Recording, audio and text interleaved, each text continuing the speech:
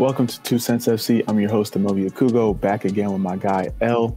Each week, we'll be talking with individuals from around the soccer world, learning about their stories and getting their unfiltered thoughts and opinions. This week, we're joined by all time legend, retired striker, and current director of Team Strategic Partnerships and Business Development at Columbus Crew SC, Dante Washington. We'll be talking all about his career as a player and his transition from the soccer field to the corporate world. Dante is a legend, uh, one of the OGs. Uh, when I was coming into MLS, um, I didn't know about him, but had to do my research and yeah, it's been a pleasure to get to know him. Uh, Dante, how you doing today? Doing well, man. Thanks for having me on. Looking forward to it. Nah, thank you. So we start off with two truths and a cap. I'm gonna let L give you the rundown, but I'm excited because I feel like you know I've done all my research on you, but I, I think I'm gonna win this one, but I'm not sure. L's been killing me, so please help me out.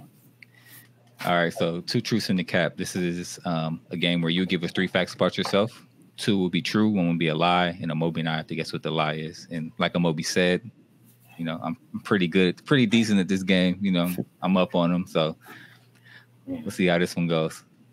All right. So whenever you're ready. Okay. Um let's see. I was born in Columbia, Maryland. I am distantly related to Josh Smith, the basketball player. And I'm the all time leading assist uh, player in NCAA D- Division One history. Damn. Josh Smith is such a random name to like say, so I think that's true. Yeah. Assist. He was a striker. I'm gonna go with assists. I think you were all time leading scorer, or at least you had a record at uh, at your college. Uh, yeah, I, I, do know you have DMV ties, but maybe yeah, I'm going to assist too. Partly because I don't want it. If if we both get it wrong, then it's good. So. yeah. So I am destiny related to Josh Smith, apparently through. he said apparently. well, I haven't confirmed it, but uh-huh. uh, it's a crazy story. But apparently, I am like fourth or fifth generation or something like that. Um, actually, I'm not even sure how far down. Uh-huh. Uh, I was the leading assist player in NCAA Division One history. I was not born in Columbia, Maryland. I was born in Baltimore. Uh, Gosh, sort of stuck with my gut. Got it that time. That's pretty good. That's pretty good. Okay. I liked it. It was good. It was hard. Yeah. Like coming up with that, like off the top. Nah, but thank you. So, first question we ask everyone is when did you fall in love with soccer? Man, um, probably when I was about six, six or seven. You know, growing up where I grew up, uh, a lot of my friends, a lot of my peers played the game, and it was the most popular sport um, in our area. And like you said, being from the DMV, soccer hotbed back then, so it wasn't wasn't too hard to find a friend, find some neighbors, other kids at the school who who were playing because pretty much everyone uh, growing up, in, at least in my era, uh, grew up playing soccer in some shape or form, whether it's at recess, playing on a rec team or something. So uh, it was it was pretty easy to fall in love. That's amazing. Can you talk about that dynamic? You know, growing up, you know, in a soccer uh, infused culture, because I know, especially, you know, from the outside looking in, Baltimore, you're thinking basketball. You know, you're thinking football. Um, so, what was that like as people talk about it now from the standpoint of like, all right, soccer's not readily available, or you know, people play in their youth, but then they grow out of it. So, how was that for you? You know, being able to grow up with soccer you know, it's odd because, um, again, being from that area, like Virginia, Northern Virginia, Baltimore, um, like the Rockville, Montgomery County, like all around the DC, basically from between Baltimore and DC, uh, soccer was was really popular. So I grew up not thinking any different. So I, you know, probably felt like most kids were, were out playing soccer, um, not realizing that later on that definitely was not the case uh, but especially where uh, in my town, my city where uh, I grew up, it was just one of those odd things. It was a planned community. Um, there's a, a, lot of history and story behind it, but I think it was just one of those things where, uh, like my family, we moved out of the out of the city, out of Baltimore, uh, looking for more opportunities in, in, Columbia, which created a lot of opportunities. Um, and soccer was just that sport that that everyone ended up playing. I mean, there were obviously people playing football, basketball, mm-hmm. baseball, but soccer just just really took hold. Um, there were a number of players who have had success in college, youth national mm-hmm. teams, national team uh, that came from Columbia. Nice. And I'm not trying to age you or anything, because uh, you, you know I'm trying to respect my OGs. But how was it growing up? Like, you know, was it club soccer? Like, how did club soccer work? You know, when you were coming up, and did you have any like uh, black coaches growing up? So, um, yes, I did have a, a, black coach, which was which is odd. Um, I think when I was about uh, 11, 12, and he coached me for a few years, and I'm still in in, in touch with him. Um, That's amazing. And he was like he's like a dad to me. It was a dad uncle type of relationship because he was only 25 years old when he um, started coaching us, so he was really really young. Mm-hmm. And um, so yeah, it was it.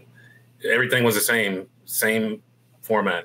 Grow up playing rec, then you go to travel, and uh, we got a huge soccer club in Columbia, so it still is rather large, not necessarily as successful as it used to be. Um, but the the numbers, the sheer numbers, there were thousands of kids playing. Oh, that's amazing. And then, and can you talk about your experience? You know, you know, starting from youth and then moving up the ranks. You know, going to college, and then you know going pro. You know, you know, being one of the you know first members in the MLS, and you know, doing all that. The, the, career that you've had is is a lot. Of, I feel like a lot more people need to know about it. So, can, can you kind of kind of give us some backstory into that? you know, it's funny because not having a professional league, a major league like we have now, with all the notoriety that we have now, um, never really gave me anything to shoot for. We had the NASL, but then by the time I um, got out of high school, got out of college, it was was long gone. So having something to aspire to to be a professional, I didn't really think about being a professional or uh, playing on a national team. I may not wanted to, but it, just wasn't a reality. Uh, I wasn't very highly recruited uh, out of high school. And in fact, I went to Radford University, and my coach tells the story all the time. Uh, he went to recruit a defender and then uh, found me. Uh, I was always probably one of the best players on my team, but it, I, I, never played state team or anything like that. I got cut from state team, never made it to regional team, and it wasn't really until I got to college where uh, I really started kind of getting on the map uh, in terms of of, of, having any type of uh, name and notoriety. Um, so it, I just really stumbled upon success. I didn't, wasn't out there with a personal trainer or individual trainer like we have now. I will say that I played all the time uh, and was fortunate to have good coaches at the youth and uh, high school level, which you know, obviously is that that base, that foundation. Uh, but I, I, really just I lucked up and got in the right place at the right, right time. I mean, uh, obviously, when you score a lot of goals, uh, people are going to start taking notice, and uh, just kind of all went from there. It was uh, really odd. It kind of all hit me at once because you know next I, I'm pretty much doing maybe an interview here or there in high school because even in high school I I think I was my definitely my so in high school there was a uh, one of my best friends he was an all-american as a sophomore all-american as a junior and I was kind of as especially as a junior playing in his shadow then as a senior uh, he went to a different school so then the workload was was basically on me and I was a leading scorer of the team but it's not like I had 20 or 30 goals. I may have had 15. I don't even know. Um, but once I got to college and that my freshman year at Radford, when I scored a lot of goals, that's when things really kind of took off and um, broke my leg my sophomore year, so I redshirted that that year, and then came back. Was was my junior year academically, led the nation in scoring again, and that's when we had these Olympic festivals, which then formed the pool for uh, the Olympic team, and then kind of the, the, rest is history, really. Because once you know, once you get on the national teams, it just kind of changes things. Um, exactly. I didn't try to do the, any of that. Can you talk about? You talked about like you played a lot of games. You know, there wasn't any any special thing that you did in terms of having a personal trainer. But if there's one thing, because you know we have some young people listening too, like there's one thing that you worked on. Like, did you work on finishing, or any advice that you would have for a young player trying to come in? You know, you said you mentioned you score goals, so you're eventually going to get noticed at some point. But is there like one thing where, if you can go back in time, or something that you did um, at the time that people can kind of focus on, um, what would that be? I guess it depends on what age um, we're, we're talking about. So if we're talking like the really young kids who like elementary, middle school, um, just continue to play as much as you can and mostly playing without coaches. Just go out and play with your friends, just the free play because that's when all the fun happens and you can try things that you might not get to do in practice um, and I know a lot of kids don't do that anymore. It's kind of disheartening to see that because I think that's when the love of the game is. That's is, true. Is born is when you're just out with your friends and you're just playing in the neighborhood, and not necessarily having to listen to a coach who say do it this way, do it that way. You just do it the way you want, mm-hmm. and you, know, you, can develop your skills that way. Um, I say that once I got to college, that's probably when I became more focused on uh, things, making sure I stayed in shape, um, the extra work, doing all those things. I, mean, I, can remember one summer, I think it was the summer after my freshman year, I was just, Radford was a small town. So on my run, I would just dribble all around the, the little town and, and, and that was part of my exercise. So I'd say I probably became more dedicated to the game later on. Um, once I got to college and it, part of it probably ironically was one of my good friends who I think after my freshman year, and I had you know had all the success and, and all of this stuff was going on, and she's like, you know what, you could be really good if you actually were dedicated and tried. and, I, and I was like, man, that, that that's messed up. Yeah. but she had a point. She was yeah. right.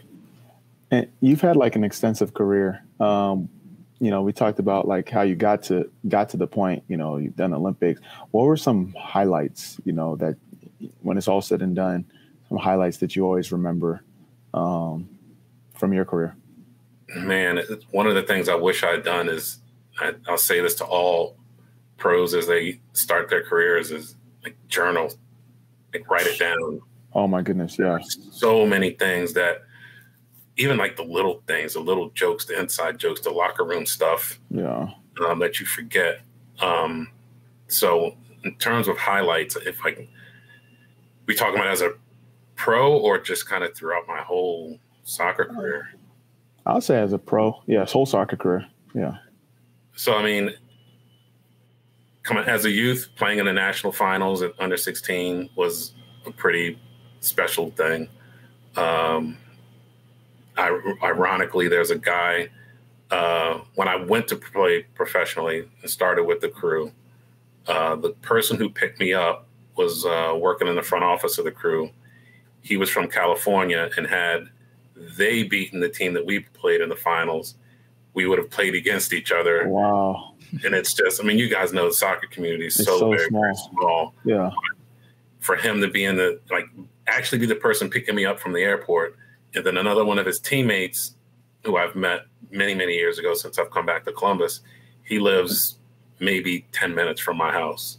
So you know, that's when all the memories start, you know, they're coming back. Yeah. You're like, oh my gosh, you were there, you were there. Especially if you, like, kids don't have them now of the um, the tournament uh, brochures where you have yeah.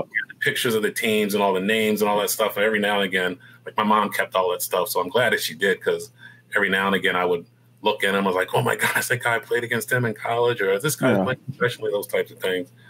Um, college just was was a blur, really. Um, I, would say probably between my probably my junior year was the, probably the biggest highlight. I mean, that's when I went and played in the Olympics, but also as as a team, we did really, really well. We didn't in none of my four years did we make the NCAA tournament, but we played against the University of Maryland, who traditionally never uh, recruited any of the players from Columbia, and we came back and played them uh, at College Park and beat them. Uh, I think it was two to one, and it was like a highlight because I think there were probably four or five guys on the team from from Columbia. So we were like, all right, yeah, we're in front of our friends, in front of our family. We're going to do this, and we were a pretty good team back then as well. Uh, then probably the, the biggest highlight, kind of at the, I won't even talk about the Olympics. I mean, that's just that speaks for itself. Yeah. Um, but probably my first cap, first time playing with the national team was was amazing. I think I was only 19 or 20. I think it was 20 maybe, and just you know a year or two prior to that, these are guys that I'm looking up to. Like Eric Wynalda, I tell him that all the time. I was like, I'm looking up to these guys. These are guys I wanted to be uh, playing yeah. with them, and never in my wildest dreams that I think I would have been. But yet there I was, and uh, in camp and being on the same field as them and scoring the first goal as as a as an international was was very special. Uh, yeah, lots, you took, lots of memories, man you, you touched on the Olympics, and it's a it's a it's a touchy subject for me because you know we had the chance to go to the 2012 Olympics and we didn't qualify, and U.S. hasn't qualified in quite some time. but you were there in '92 when the Dream Team was there. How was it like? Did they have the Olympic Village back then? Were you guys able to interact with them? Like, how was that tournament? Um, I know at that time, I'm sure '92. Who, who ended up winning that? for for for the soccer? It was in Barcelona and Spain won. Yeah. Oh yeah, and they had a lot of top talent at that. Yeah, yeah a lot of top talent. Pep actually was on that team. Oh, unbelievable. Yeah. Yeah. Um, it was so that, that experience was bananas. Mm-hmm. So, yeah, we had the Olympic Village. Uh, we played in Barcelona, but then moved to another city. So we only got to spend um, some time in the in the Olympic Village. We actually didn't spend more time until we came back after uh, not qualifying for the next round. Uh, but we played uh, Italy, Poland, and Kuwait. Uh, Poland ended up uh, getting the silver medal uh, and playing against Spain in the final.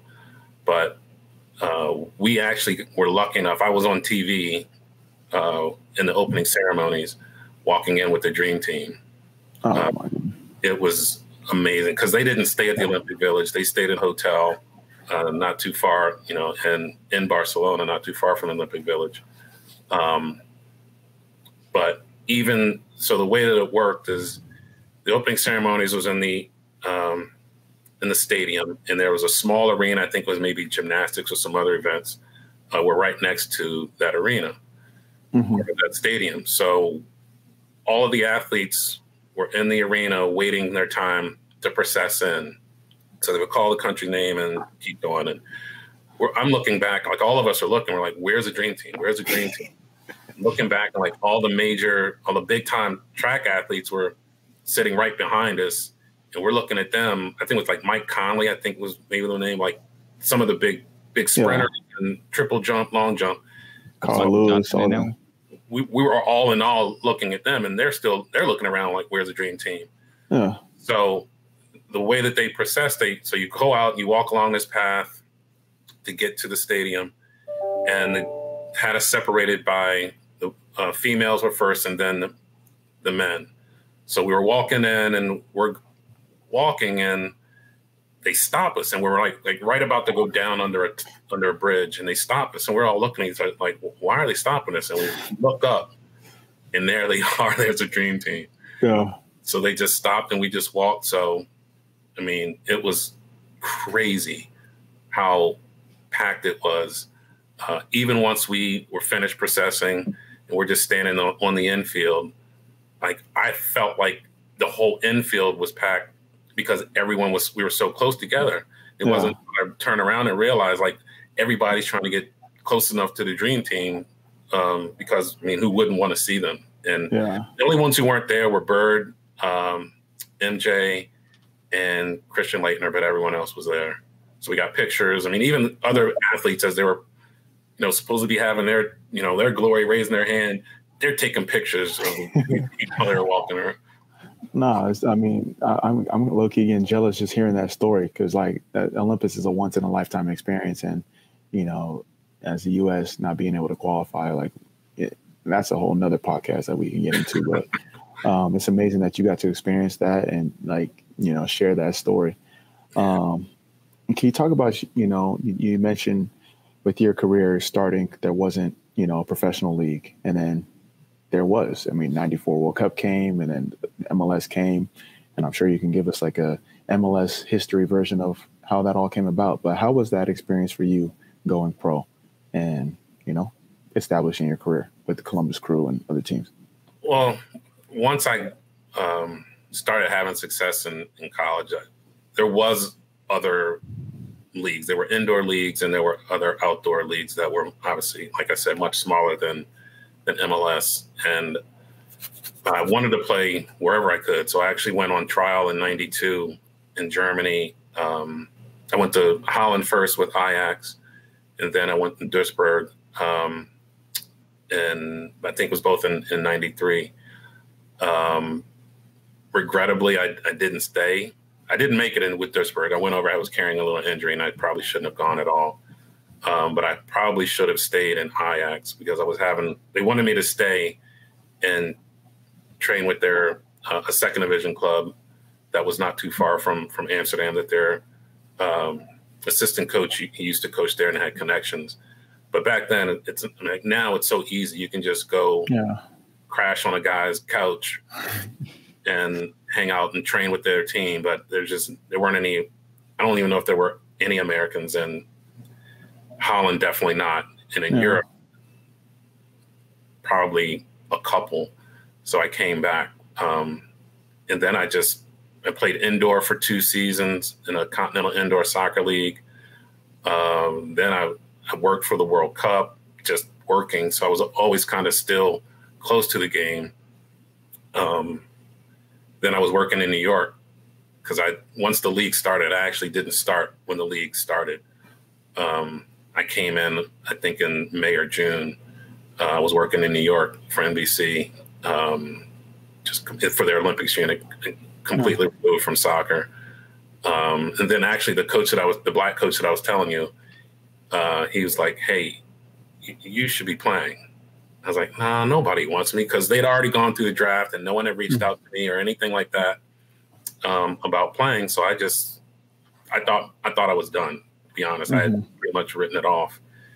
And he goes, "Well, let me call, make some calls." And John Ellinger is also from Columbia. yeah, So he called John Ellinger because I've known John since I was in high school, or bef- even before that. Um, he called John. John called Tom Fitzgerald, who was the assistant at the time with the crew, who knew me from which we had back then uh, was the national B team. So it was ba- we had like the A team and the B team. yeah. Um, so he knew me from that, and I left uh, NBC two weeks before the Olympics were starting to come play in the league. No, it's, it's it's what I took from that story is it's always important to have a coach that's in your corner. You Mhm. know, your coach that believed in you to continue to play, um, and then making the the calls, and then obviously you had to do the work to you know get on the field and perform. Yeah. Um, you've played with a lot of talented players. Can you real quick name like if you had a five aside who you who you who you bring in from your days in MLS or uh, national team squad to play alongside you? Wow. And don't worry, we're not going to try to get you in trouble with someone if you leave them out. No. So goalkeeping, probably Brad Friedel.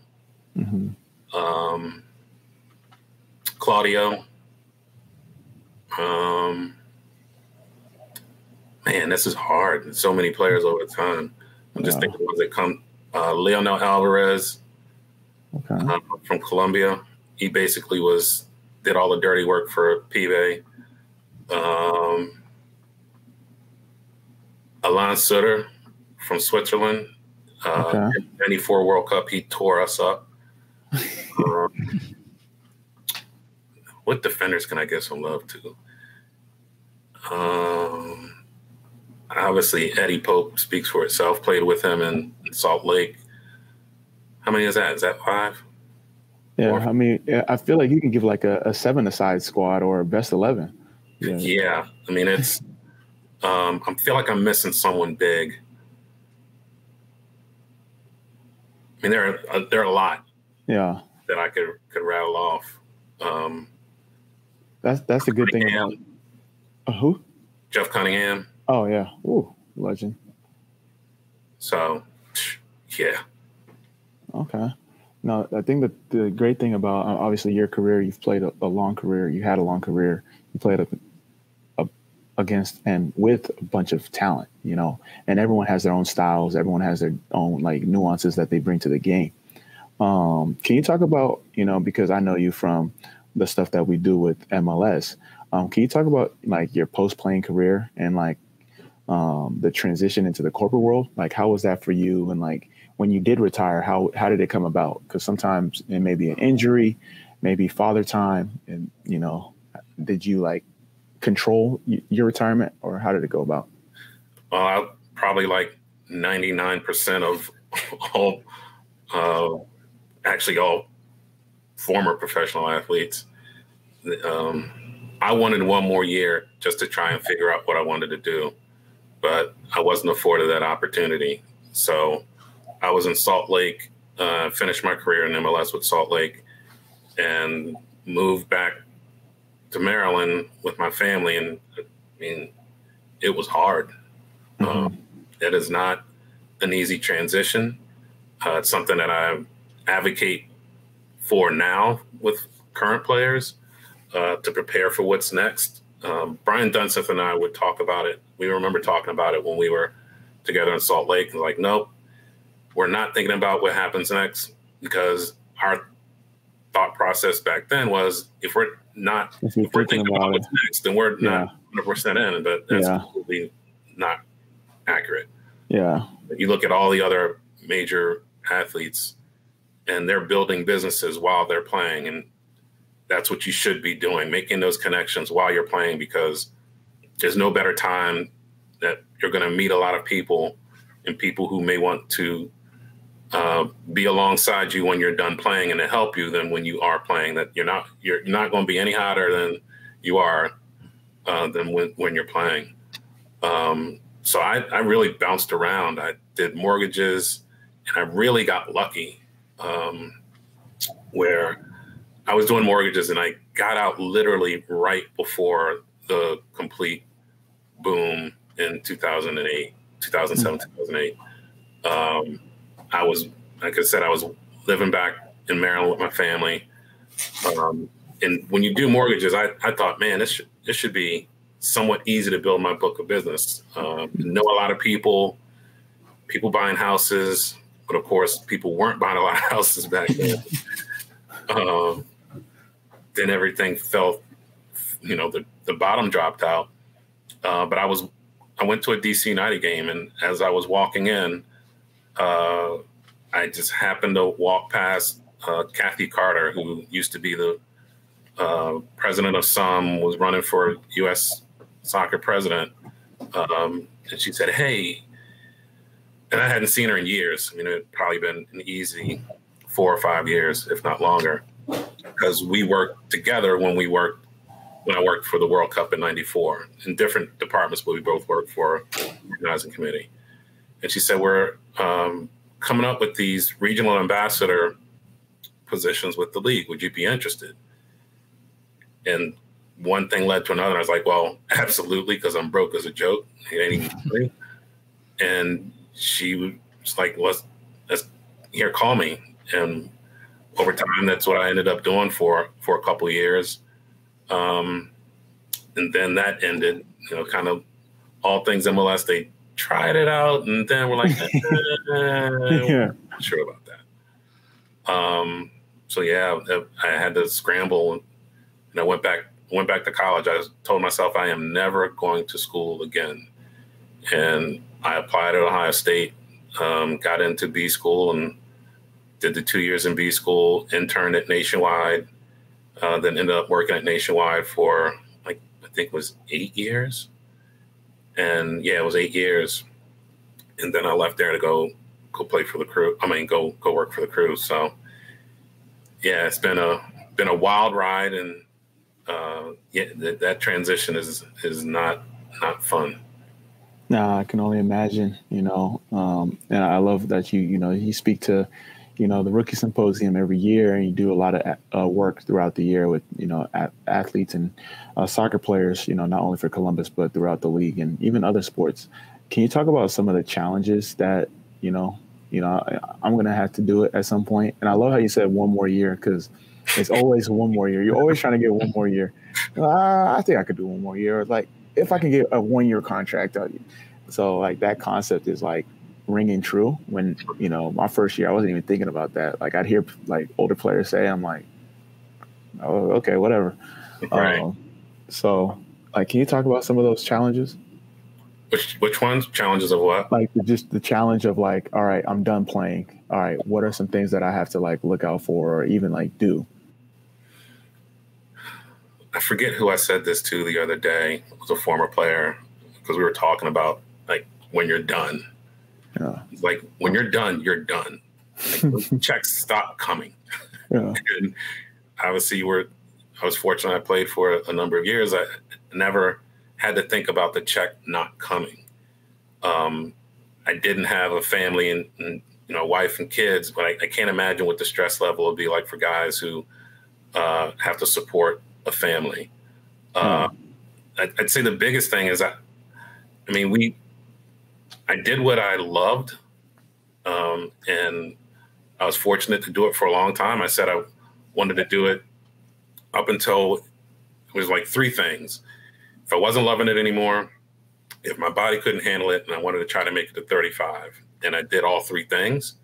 Um, I didn't get that one more year to get to 36, um, but just trying to figure out what's next is uh, is hard because you know we don't realize that we do have traits and we do have skills that can transfer over into the business world. And once I uh, began to realize that, um, realize that there are companies who love hiring athletes, and I had thought about starting like my own little side thing of helping athletes make that transition. It still kind of comes back to my mind every now and again uh, because Eddie, actually, Eddie Pope and I had this conversation where uh, someone that he knows who worked, who used to work for Lockheed Martin, uh, she said that anytime someone came in her office crying because they were stressed about something at work, it was never an athlete. Yeah. And I've talked with other people as well. Like, do you want to hire athletes? Like, yes, because we have all those intangibles uh, that many, like I would say, regular workers don't have. Mm-hmm. Um, they might have it, but we've been drilled to uh, be able to work as a team, uh, overcome adversity, be creative. Um, so once you can, you realize that there is value. Um, but the hardest part really is like you know, there's kind of two parts to it. It's the what do I want to do and what can I do. Um, the what can you do is easier because it's like again, uh, especially with soccer players, you know, we most of us have gone to college, and I I also have this theory, and I could be completely wrong, but I feel like uh, because we are we spend so much time analyzing and making decisions uh, because there are no plays in soccer yeah. So we're always having to figure out where do I need to be, uh, where's the ball, all the anticipation where we're thinking steps ahead. Whereas most other sports, basketball still has plays, hockey still kind of has plays, obviously, football does. So when you talk about these team sports, like we have a general strategy when we get out there, but uh, we still have to implement the plan and things are changing on the fly. So I think that as soccer players, our level of thinking is different than many other athletes. But uh, once we were able to then take that and then figure out what we want to do, um, that's when that's the, that's the hard part because again we play the game for so long it's what we love to do we don't want to do anything else. So then trying to figure out what it is that i want to do next is was really um, challenging. No you bring up a lot of great points and i think and i just said this quote to someone the other like like a couple hours ago actually is like the most dangerous thing in the world is an athlete that knows that they can compete in another arena like you said, we have all the qualities. We just had to learn how to translate these qualities that we learn from sport into the corporate space. And you know, you you mentioned that it took you a while, but you eventually got it done. You did B school, and then you worked at it nationwide, and then now you're working at Columbus Crew. Can you talk about you know your specific role and you know what you're doing um, with uh, Columbus Crew? It's a role that we made up. Uh, completely. He's like, we just hey, we just need Dante here. We're gonna we're gonna make something happen. no, it was one of those things where um, I was actually becoming bored and disgruntled at Nationwide, and as I saw the team was going to stay, I had a conversation with our you know what, the local ownership group, uh, Dr. Pete Edwards, and said I'd love to be involved, uh, and I really had no idea what that was going to look like. So kind of as that was happening, and then I was disgruntled. I was like, you know what? Well, because then I was put in touch with someone else. He's like, well, just come up with a uh, a job description. And my whole thing with them is like, based on all the things that I've done, there isn't uh, like one role that really um, utilizes me with all the different different experiences and skills that I have, whether it be the many years being involved with the game at a number of different levels. Um, to be like player, used to be on the board of directors, all that for U.S. Soccer. Um, and then obviously being in B school and then working at Nationwide, just working in marketing or working in corporate sponsorships, partnerships, and just didn't make, or just being on the soccer side just didn't make sense. So we just crafted a role that I work in partnerships and business development across both the soccer and the in the in the business side. Mm-hmm. Uh, a big part of it is so I kind of put it into chunks of youth business development. So our camps, our clinics. Uh, we just started a youth partnership program. So basically, like an affiliate program, working with the local clubs uh, as a as a partnership program. Uh, player engagement. So uh, current players. So at some point, it was really hard last year because I wasn't around the team uh, and now with us all having a facility, it'll be easier of working with. I really call it like the the current, the uh, past, and the future. So our academy kids, our higher potential academy kids, working kind of as an off the field mentor, uh, and also some of the younger pros who are just starting out. Because, uh, you know, like you said, when you first started out, some of it you just didn't know. Yeah. Uh, trying to help those guys as they make that transition. Uh, do our alumni engagement as well and then kind of the third bucket is just the, the corporate uh, and community partnerships. So more that could be strategic partnerships where it's not necessarily where someone's giving us money. It's where we like COSI as our local science museum actually was rated number one in the country by USA Today. Uh, we're we're working with them. Uh, we have a partnership with them. We work with them in terms of like developing a science of soccer series. So the science of of the game, and we produce work with them to produce a number of videos during COVID that they used on digitally. And um, you know, now that we're all coming out of COVID, we'll see what the relationship looks like. So that just kind of, and then all other duties as assigned that just get thrown into other stuff, uh, appearances, spokesperson, that type of stuff. No, that's amazing. I think you know what I take away from that is that you know your reputation speaks for itself. So people are willing to you know go to bat for you. And then you're also progressive and uh, proactive about you know pursuing opportunities that you see. And i think it's really important because you touched on it you know when you're in your transition you have to like you know see opportunities but also take advantage of the opportunities given to you. Um, but you also have to have a good reputation. People don't want to work with people they don't like. So um, that's amazing that you've done that um, and congratulations to all the new things happening with crew. Uh, but one thing that we definitely got to ask is the the rebrand. You know, how did that come about? And like, what was you guys' motives? If you if you could speak on it, I'm not sure. And then like, kind of like, you, you know, with your marketing background and your history as a player, um, you know, seeing some of the feedback and then making the changes, uh, we'd love to get your expertise on and insight on that that kind of ordeal. So I didn't, I wasn't close to the rebrand at all. He said he's taking, he's taking all. He's not trying to take well, I will say that it all. I didn't find out about it until it was already already baked and, and done. Mm-hmm. Um, but kind of obviously hindsight's twenty twenty. Looking looking back on it, um, I think we learned our ownership group learned uh, of what was really important to our to our fans because uh, they spoke pretty loudly. um, and yeah. if I'll also say that I know a lot of our former fans, or not a lot of, whoa, a lot of our fans like the former logo, the the circle one. Mm-hmm. Um,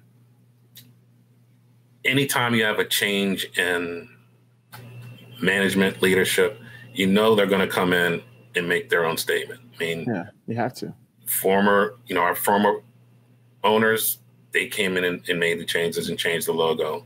Um, it just was that a lot of people, actually, I think the process was started before he actually took over.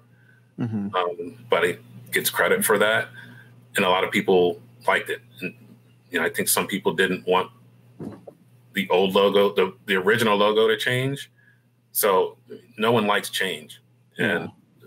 especially when it's something that becomes you're so passionate about. Um, they're going to speak loudly. Uh, I think the one thing that made it even more challenging for us was that it was when you took crew out and it's just SC. I generally once when it was added, people are like, "Well, we don't need the SC." Yeah. So it wasn't a part of our uh, of our name of our identity that, that a lot of people um, were attached to. Our fans are definitely, I mean, as you saw, um, tied to to the crew. It was it always been in our logo. Even and it was hard because once it leaked, it we were playing catch up, yeah. and it was that in the way that it looked as well. It was just a really grainy, crappy picture on a a sweatshirt um, that in all of the drawings and anything that I saw, I had never seen that picture. So I didn't even know where that came from when it was leaked. Um, so even as we try to tell the story of like, listen, we're not getting rid of the crew name, we're actually doubling down on it. It was just really confusing for our fans because, well, if you're doubling down on it, why are you taking out of the logo?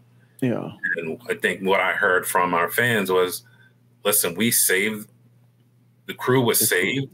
Yeah. And that's what we need to have. Save and the crew, yeah. You can say that you're um, not taking it out, but we all know that once you do logos and, and stuff like that, the trickle on effect is um, is huge. So if you take it out, then it's harder to put back in. Mm-hmm. And you know, you can see at our stadium, we've still used the crew on a lot of stuff. Uh, the partnership program that um, that we launched, part of that is called the Crew Network.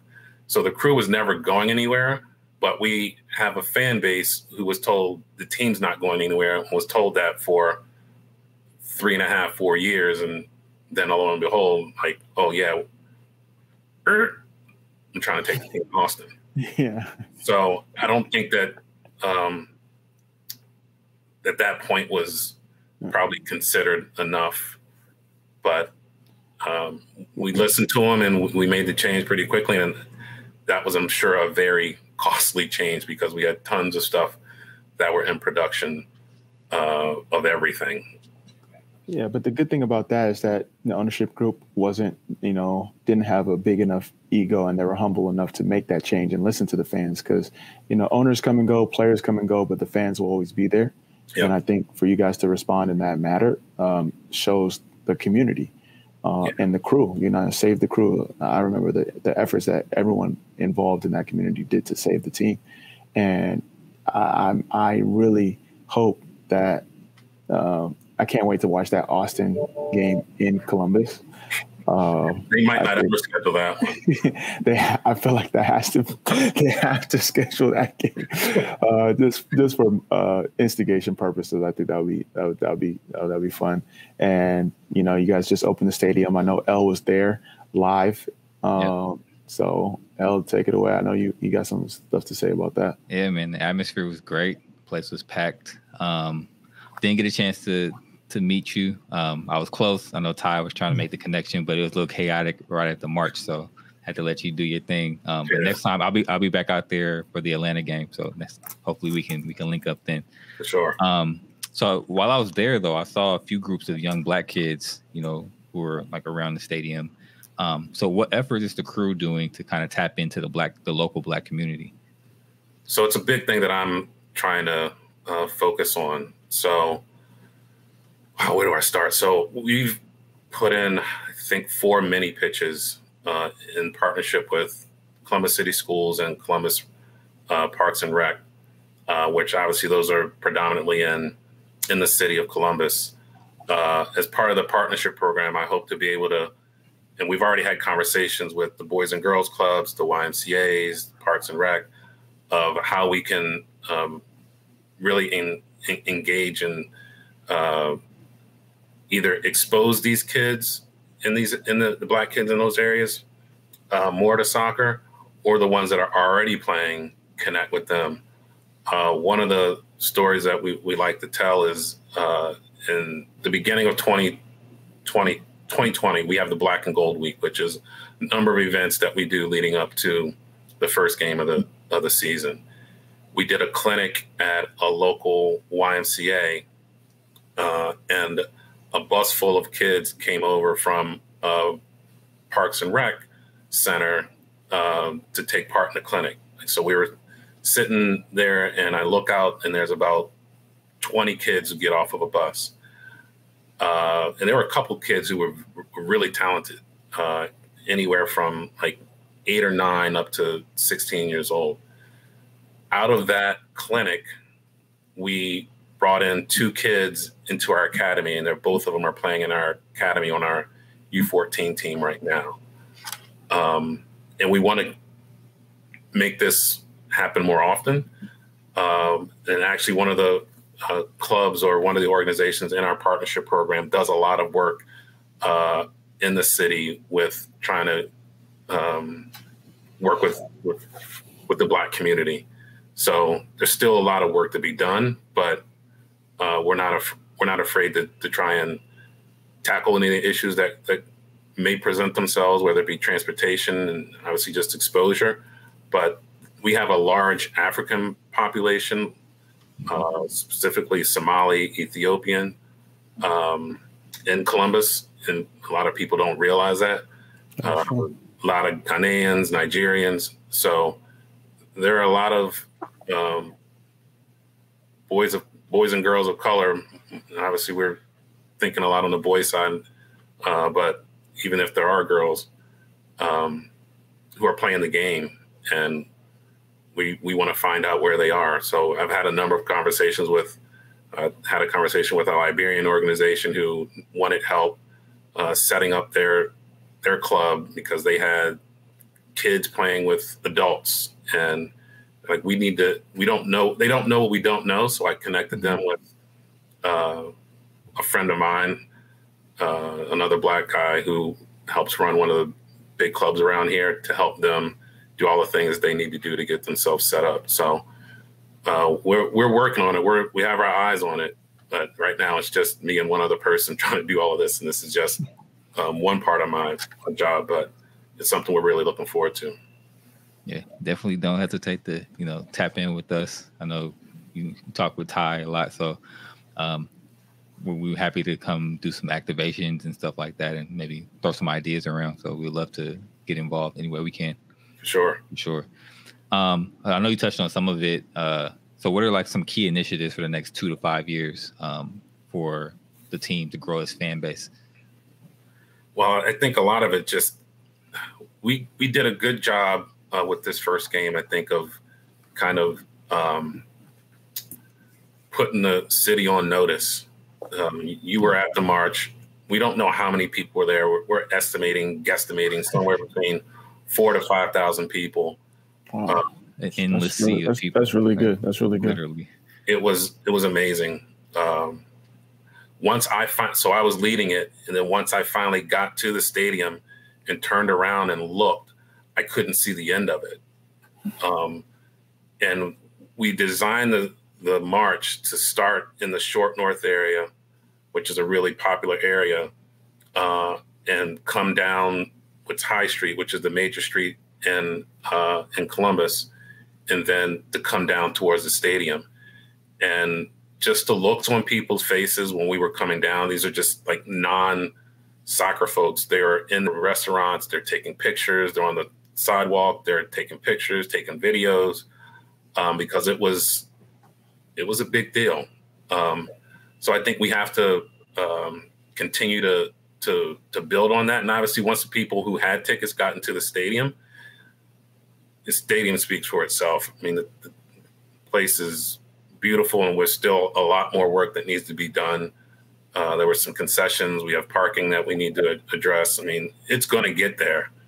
Um, but in terms of initiatives, I don't know if we have any specific initiatives. I know one thing that I'm trying to work on is uh, really connecting with the the college age kids more. Mm-hmm. So part of what we did on Saturday was had so Block O is the biggest student organization at Ohio State. We had members of their board who came to the game um, and and were part of the march. And out of that, we want to be able to continue to talk to them to see, you know, how can we work together to to get more OSU students to to the game uh, because we've got 50, 60,000 students, whatever it is, at, at Ohio State. And uh, we see, see them as being um, like our future fans, whether they're coming from Ohio or if they're coming internationally. We actually talked with the group of uh, Ohio State's uh, undergrad last year with ways that we could engage the, the, um, the college students. And some of them said the international students, especially ones who are coming from countries that uh, are really, you know, soccer uh, popular countries, they're looking for their for a home when they come here because they don't have anything. So if we could be that something that they gravitate to, they they think that that would be uh, a plus for us. Um, so I can't think of any other like specific things, but I mean we're we're definitely trying to, to, get more people involved and engaged. I'd say that probably the partnership program that that I've started, it's really about growing the game of soccer, whether it be little boys or girls, and, and getting their parents uh, involved and uh, kind of understanding who the crew is and what our vision is of who we want to be in, in the future, and, and, really trying to, I think, be out of that, you know, making them feel like they're part of the family because uh, in the past, the local youth soccer community, we're we're at odds with the crew, and we mm-hmm. over the past year and a half, really spent a lot of time trying to mend fences and mend relationships and have, have done so. Uh, but we want them to be a part of the family because the thought process is if you feel like you're a part of the family, then you're probably going to be more inclined to buy merchandise or go to games and speak highly of us rather than kind of the, the uh, I would say, the combative relationship that maybe um, they had in the past. So um, I think those are probably things that I'm specifically trying to work on, and I'm sure there are other things that you know in other areas of our our organization that they were working on as well. No, I love that, and you know whether it's intentional or not, you know what I do love about the crew is that there's representation on the field. You know, if you look across the if you look across the team, and you have you know young black kids and families come to a game and you know they see people that look like them it's more attainable when it comes to all right i want to be like Nagbe when i grow up or i want to be like i want to score goals like Gyasi or i want to defend like Jonathan Mensah. You know that's that's that's kind of what it's all about and as we continue to try to find games uh, not only to the black community but other minority communities that that that representation and activation uh, is really important it's funny you say that because when i played here i think it was a 2000 2001 uh, i think half of the team, or a little over half, were black. Oh, so, so, maybe it's a Columbus thing. It, it, might be a Columbus thing, man. it was we, we always laughed because we're like, oh, we're the majority. yeah. That's right. All right. I know we got a new segment. L, what you got for us?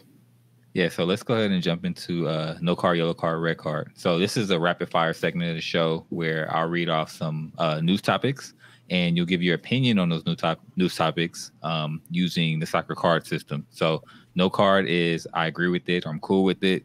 Um, yellow card is I can go either way, and red card is um, obviously I disagree or I'm not cool with it, and we'll kind of give um, an explanation of why you gave that card um, for each one.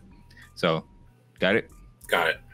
All right, so let's jump right in. Um, first one NCAA will now allow college athletes to profit off of their name, image, and likeness. So, what card are we giving NCAA for this ruling finally? Um, I would say red card only because I can't make no money off of it anymore. my, my, that ship done sailed, so yeah. I'm, I'm, I'm good with it. No yeah, no card. The uh, the only thing, if you know, being bitter, I'd say yellow card because why did it take so long? But no card. I think it's going to be good. And the only thing I'm looking out for is that, you know, just making sure the student athletes are prepared. You know, now that they're going to be making money from a financial literacy standpoint and just you know personal development standpoint. Yeah, let's tap into that frugal athlete. Oh, yeah, Listening. thanks. Appreciate that. For sure. All right, next one. Um, Richardson will miss the Olympics due to suspension for testing positive for THC in her system. Now, marijuana is on the Olympics banned substance list, but many are arguing that it shouldn't be due to legalization in many places, including the place where she consumed it. Um, so, what card are we giving the Olympic Committee in this situation?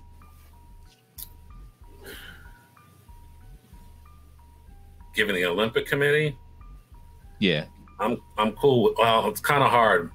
Maybe a yellow card because I I think they're just not there yet in terms of changing their rules and guidelines because it sounds like they're moving that direction, but you also at the same time these are the rules and these are the rules that every athlete has to abide by and if you let one go through then the rest of them should go through so yeah, I'm gonna give it a yellow card. I mean, understanding the situation from a mental health perspective, like what she was going through, but at the same time, like these are the rules. Like I remember we didn't even qualify. Like we were in the qualifying round, and the amount of things that we had to go through, like the testing and the telling them where we're at, like that's there's a reason for that, and it's it's not just the like they're saying because of the United States, but it's the Olympics. It's a world governing body. Mm-hmm. So I know there's a bunch of people on different sides of the spectrum, um, but I think it's a yellow card.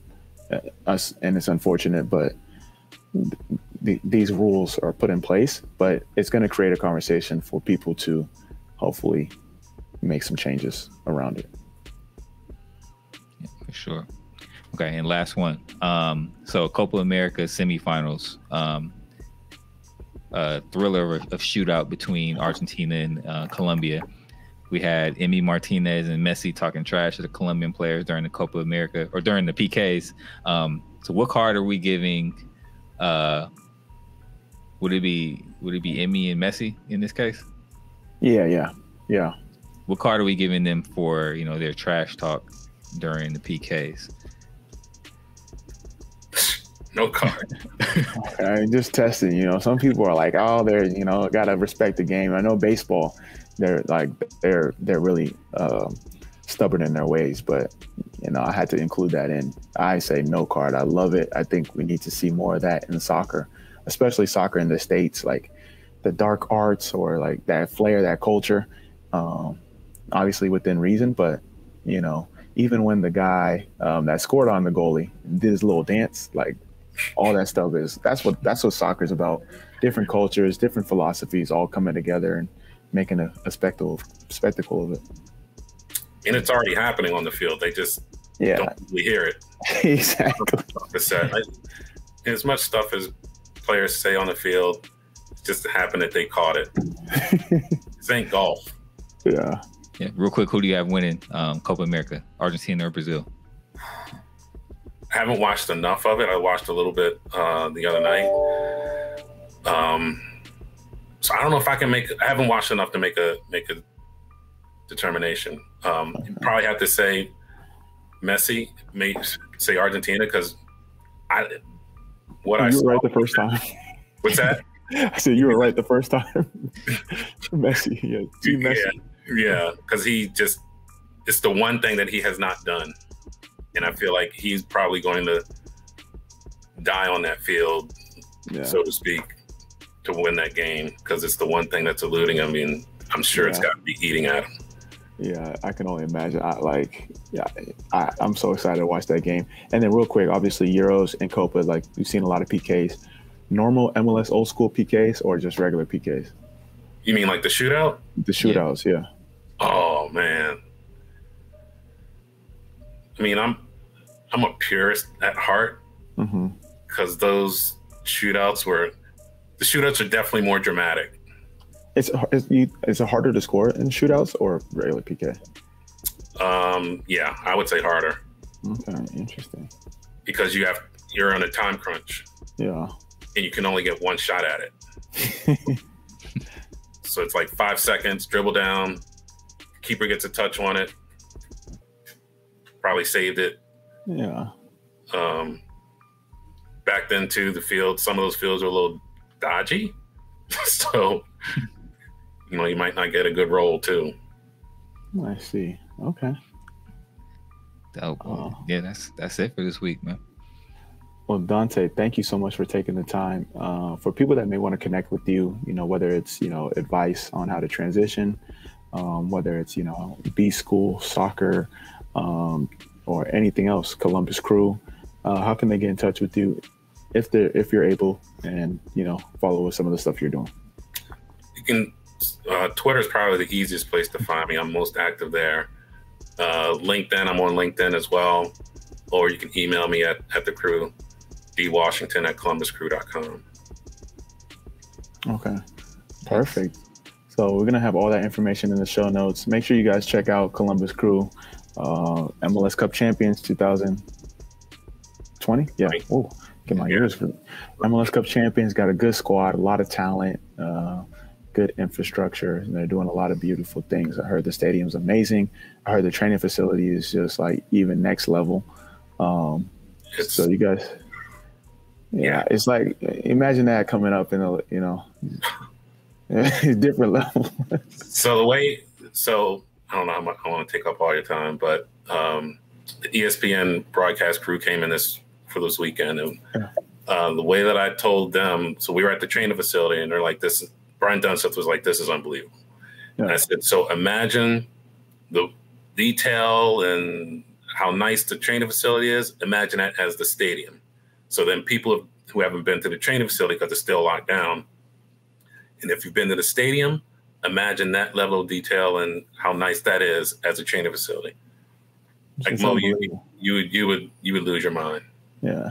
I went to Austin FC Stadium. And I'm like, yo, it's like these stadiums just keep getting better and better, and like just these more more investments as they come into the league. It's it's just only going to be great for the sport. I'm so excited for the future of soccer, and it's like I wish I can like time travel because these young kids, you know, I don't want to say they don't know how they how good they have it, but They um, don't. it's it's it's a, it's a, it's it's it's a unique opportunity, and hopefully uh, we can with more with more investment, we're just going to see a, a better brand of soccer, and you know, 2026 World Cup in the United States can't come soon enough. That's Yeah. all I'm going to say. Hundred percent. So, but with that being said, thanks again, Dante. That's our show for this week. Subscribe, rate, and review. It helps us get discovered. Follow us on all the socials at Two Cents FC. L's been working by the clock, got some wonderful things in the works. Um, as we alluded to, he checked out Columbus Crew last week, got some more things on the way. Check out our merch at two shop. It helps support the show so we can get wonderful legends on the show like Dante Washington. And then tweet us your comments on the show and any topics you want me or L to discuss. As you guys know, every Friday, Unfiltered Thoughts and Opinions, the only soccer show that gives you that. And hopefully, you guys continue to support. Much love. Peace out. Thanks.